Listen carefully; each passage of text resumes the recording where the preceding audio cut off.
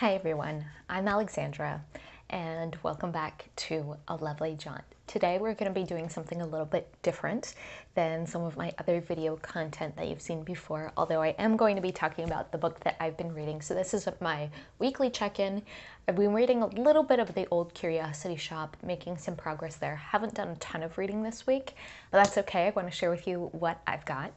And uh, we're going to do actually an art time-lapse video. So you're going to join me at the easel. On my social media, on Instagram, I think, I announced that I'm looking to change up the style of content that I make on this channel. I'm still going to talk about books, but I'd also like to bring in my love of art.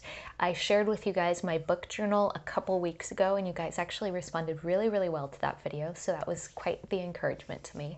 But I'm really, really interested in the intersection, really, of all of the humanities, how they comment upon one another, and how we can continue to get a deeper insight into ourselves, into the world around us, through the humanities at large and art in general.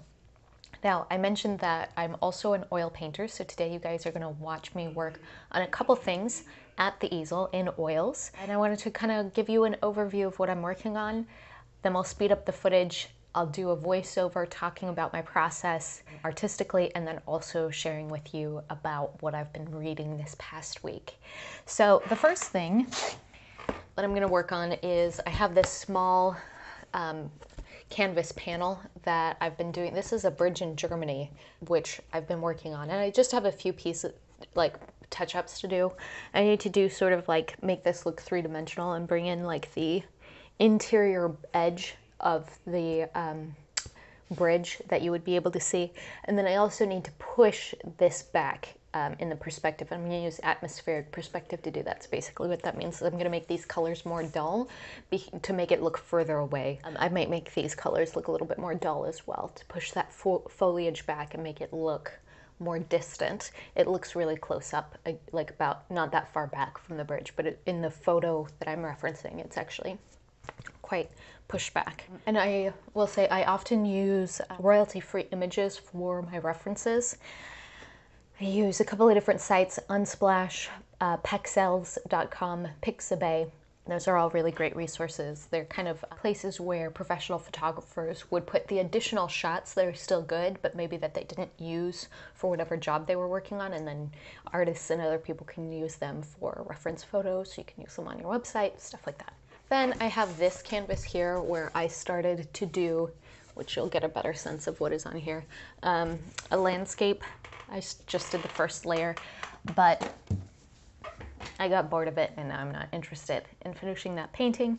And instead, I'm gonna do a concept that I have been working out in my sketchbook. This is my sketchbook that I use the Moleskine Art Plus. I've used a wide variety of different sketchbooks at different times, but this is the artwork that I'm gonna try and do and reimagine in oils.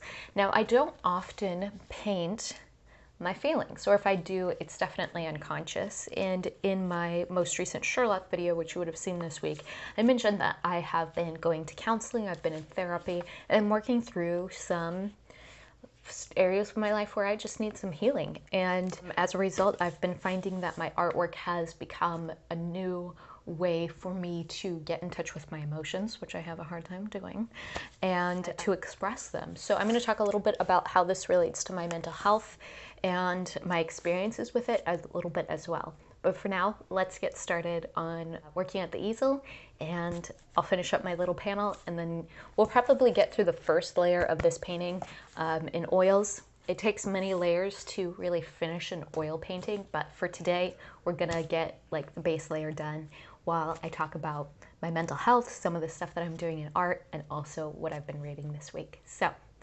uh, let's get started.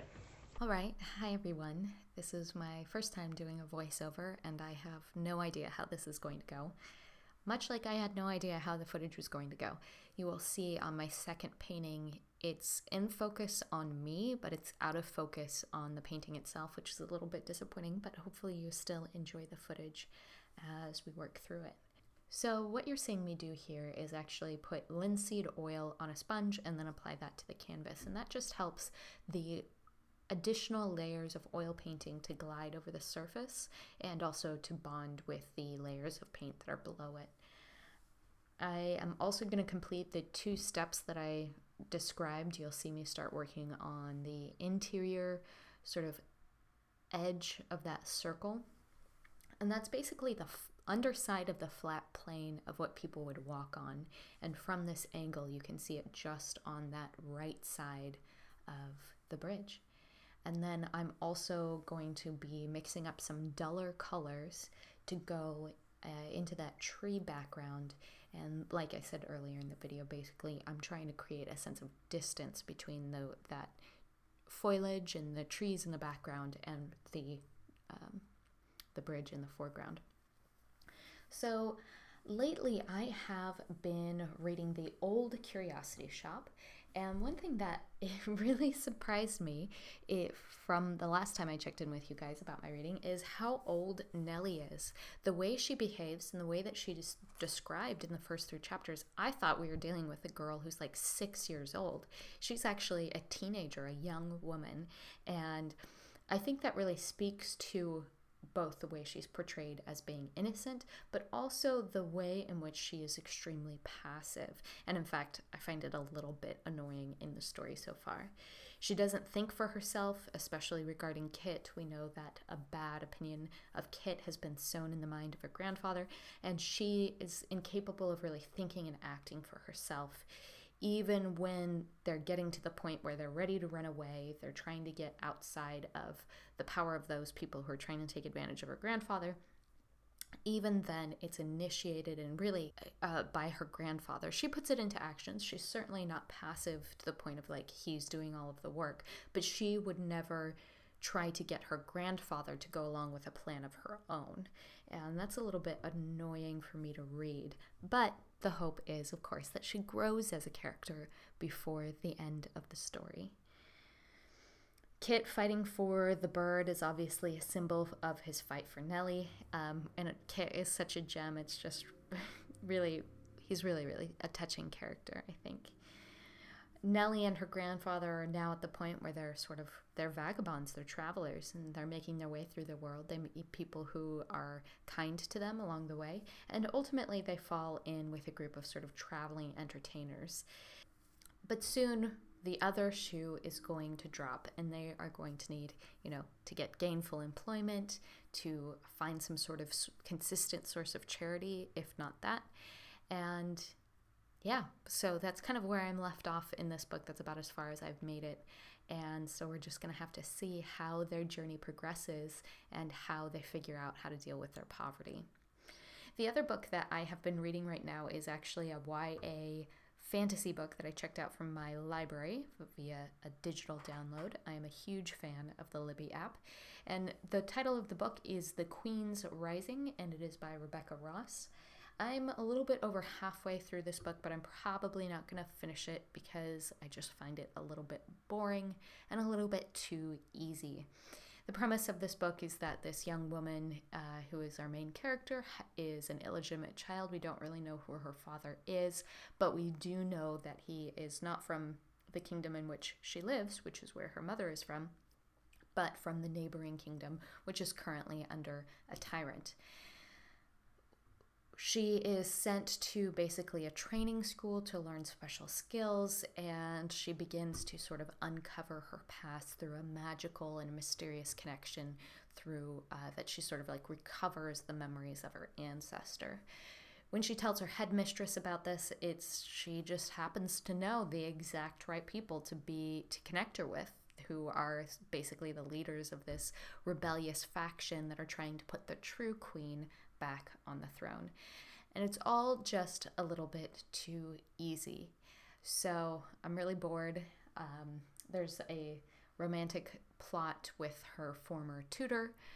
I suspect that he's going to be have a secret reveal. We have a character who really should be involved who isn't involved, and I'm like, is it because it's him? Maybe it's not. Don't tell me. I don't care. Um, but yeah, this book is extraordinarily mediocre and so mediocre that I find it like really, really annoying for, you know, there's nothing horrible about the writing, there's nothing horrible about the plotting, it's not horrendously problematic or whatever. It's just so meh. So, strong meh on that. We will not be completing that story. So, I wanted to also tell you a little bit about this painting that you're now seeing me do with. So, one of the things that I have been working through in and through my therapy is coming to terms with my feelings of being disconnected from my own emotions. Now, the, the background of why I am the, the way that I am is probably not important, and it involves you know, other people's story as well, which it's not my right to share. But I do have a really hard time being connected with my emotions, and this painting is a way for me to express what that feeling is. And so, obviously, we have the skull depicted, it's with a cracked head open and with clouds floating through it. And there's a real sense of being diffuse, disconnected, almost like sea foam just floating on the surface of the sea. One of the stories that I've always really connected to is Hans Christian Andersen's The Little Mermaid. And at the end of that story, she, you know, becomes sea foam and she just floats away on the top of the sea. And it's like that's how I feel inside my head sometimes when I'm feeling really disconnected from who I am on my deepest self. So that's what that painting is all about. Hopefully, I'll be able to show you additional process footage on it as we refine the painting and bring it to completion. But until next time, my name is Alexandra, and I'm a bibliophile, but I'm also an artophile. What's the word for that? All right, I'll talk to you guys later. Bye.